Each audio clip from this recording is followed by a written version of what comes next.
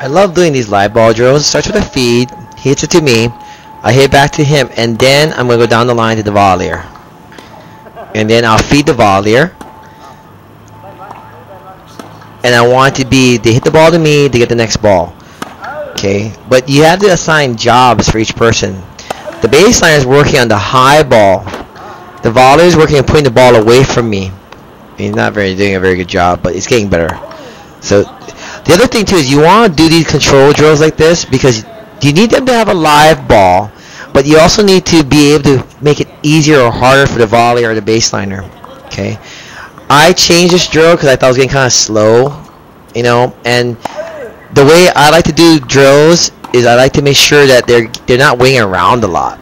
So in my opinion, this was a very slow drill. This was the end of the lesson. We've been working out for an hour and a half, and and they really needed that live ball experience. Okay. The volleyer needs the confidence of the feed and the real shot. Okay, because he, trying. He was also working on reading the spin off my racket.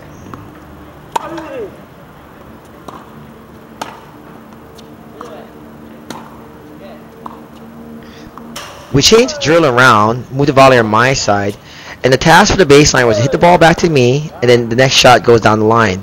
You do this because now the volleyer knows the ball is coming, but they're not. It's not a very controlled shot. It's more realistic. You know, one of my best lines is, and it's a very true thing, is you tell your student, I need to see you in a group lesson hitting with your peers because I need to see what you happens. Because when you hit with me, inadvertently, I will give you the ball that you're gonna get back to me. I will do that subconsciously. If you like high balls, I give you high balls. If you like low balls, I give you low balls. I tend to know exactly where you like the ball, and I'll feed that ball to you even when I hit with you live. Okay?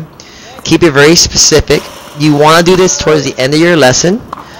Um, it's a great drill. It's a little slow, but I only have two students.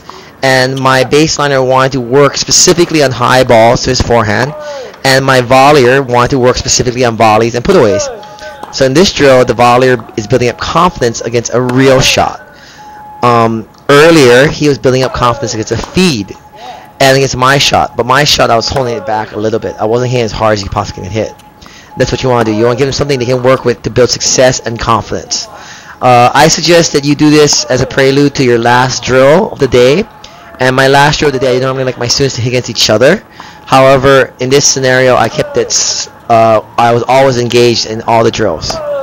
Um, depending on the level you're in, you can do that.